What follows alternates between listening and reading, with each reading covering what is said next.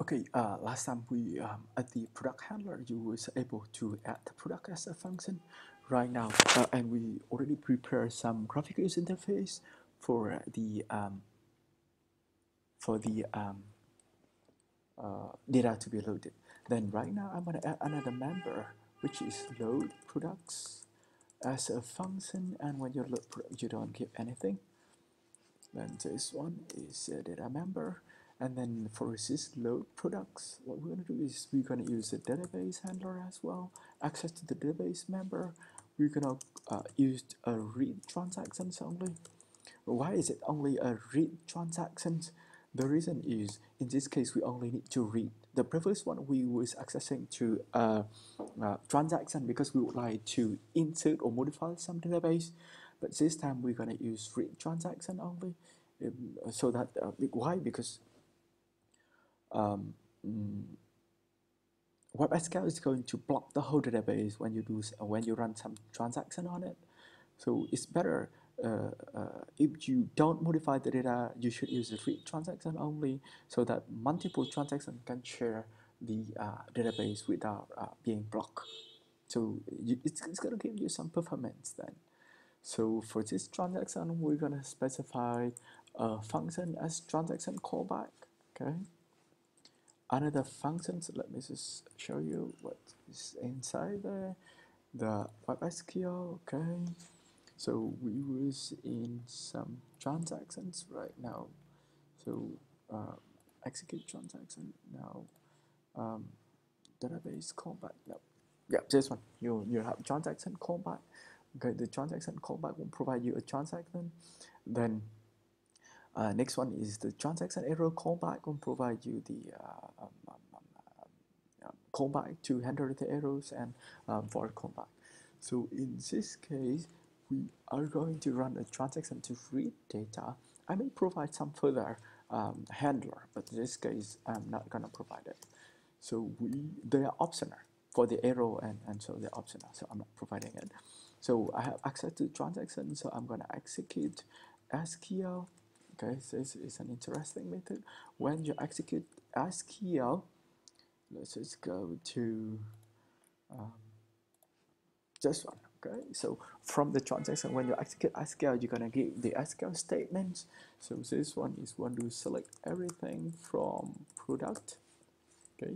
Then you may need to provide the um, arguments and this time we don't have any arguments uh, next one will be what is the next thing? Next thing will be the um, SQL statement callback means when you complete the statement, it's gonna give uh, it's gonna give you the SQL statement callback is here. Okay, it's gonna give you the transaction itself and the result. Okay, and the result of type SQL result set. So you're going to have uh, the uh, um, callback. This one is transaction callback statement callback with the um, with the um, say the transaction itself and the result of type SQL result. And you may have another callback which is of type um, um, error callback which means if you have some any errors it's gonna show you. Okay? So the error callback will give you the transaction and the error okay? So this one functions okay transaction and the error so I'm going to deal with the first case, which is easier. We're going to do the console.log. We're going to log the error, error while adding, sorry, while selecting the products plus error dot message. Okay, and of course, um, instead of uh, look like this, you may um, alert the to do. Okay, alert the message to user instead of uh, console.log. Console.log is only for pro, um, programmer purpose and actually you may do some alert message to user showing them that we couldn't load the data with some error. But then so far at development, I'm just gonna put to do over here and you're gonna change it in the future. Next kind of thing is um, the result. Okay, so the statement callback. So when it's completed this statement, it's going to give you back the transaction and the results okay and the results. And this result is interesting that we're gonna uh, need to look at. So that result, okay, so it's gonna give you the transaction, okay, and the result which is of type result set, SQL result set. And what is SQL result set? Wanna have a look down there, okay? SQL result set,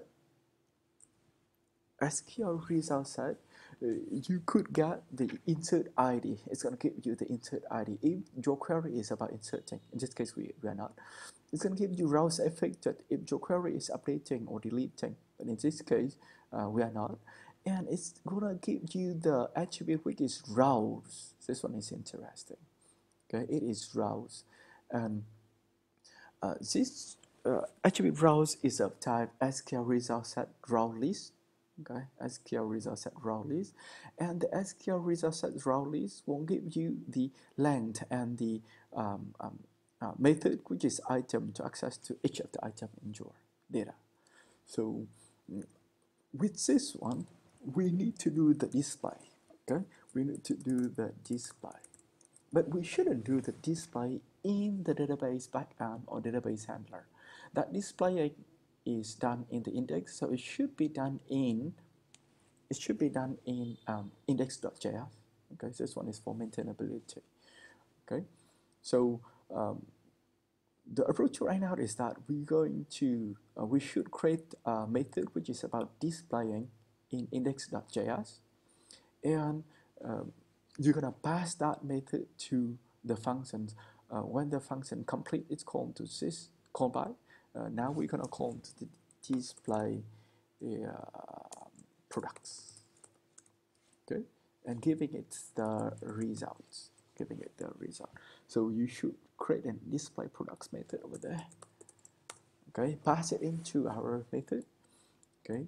And when we complete executing this statement it's going to um, call to the uh, statement callback and when you call to statement callback you have the results when you have the result you call to the methods from the index that we're going to code later to display the result. So with this, you are now ready to, at the database backend, you are now ready to uh, be able to uh, access to the result of the SQL query. Okay, and we're going to um, code the display products from the index method later.